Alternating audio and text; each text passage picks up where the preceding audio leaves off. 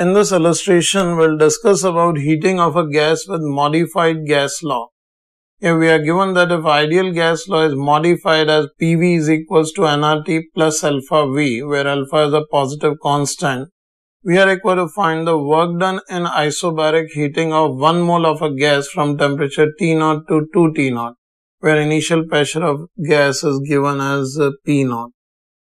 Now, in this situation, here, if we differentiate this gas law, which is given to us, a modified gas law is given as PV is equals to nRT plus alpha V. So, if we differentiate it uh, or uh, for variation of volume and temperature, here we can say for uh, isobaric heating,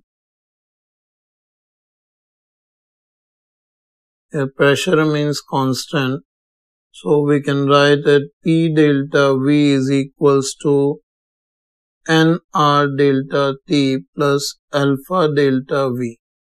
Now from this relation we get the value of delta V is equals to nR delta T divided by this can be written as P naught minus alpha here I can take the pressure at P naught because this constant pressure is P naught which is given in the problem.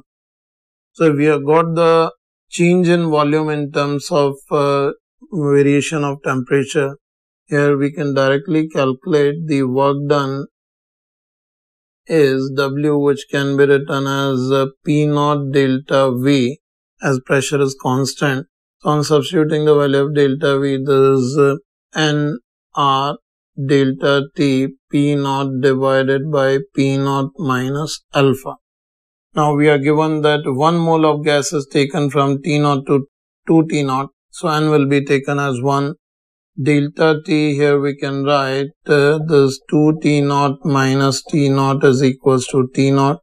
So the result we are getting is P naught R T naught divided by P naught minus alpha. That is the result of this problem.